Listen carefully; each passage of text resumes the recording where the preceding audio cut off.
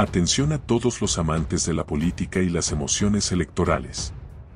¿Están listos para sumergirse en una historia que podría cambiar el rumbo de la historia política? Prepárense para una montaña rusa de decisiones y cambios en el corazón de la política estadounidense. Patriotas, en el centro del tablero político, Pensilvania está enviando señales claras y fuertes que podrían desencadenar un giro sísmico en el panorama político del país. Sí, lo han escuchado bien. Los demócratas están cambiando de bando en un estado crucial, y los números son impactantes.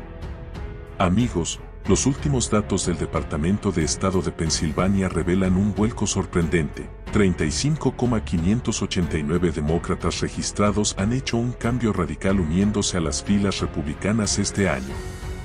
Mientras tanto, 15.622 republicanos han optado por unirse al lado demócrata.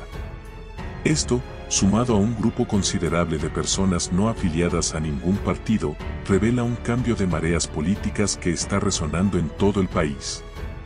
Para Biden, esta transformación no podría ser más inoportuna.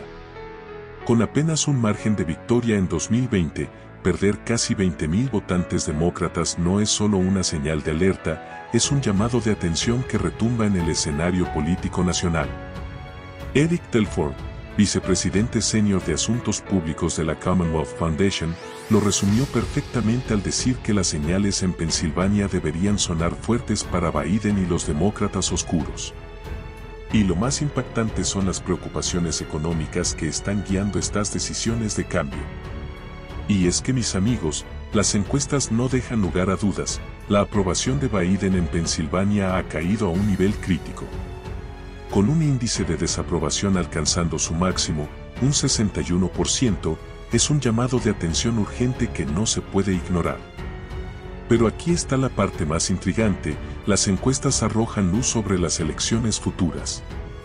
El apoyo a Biden se tambalea, con un 47% de votantes reacios a respaldarlo en las próximas elecciones generales. ¿Puede Biden recuperar la confianza perdida? Las encuestas dicen que el camino no es fácil, con un 17% de demócratas que han prometido no votar por él. ¿Y tú dime qué opinas? Felices fiestas navideñas para todos, Dios los bendiga siempre.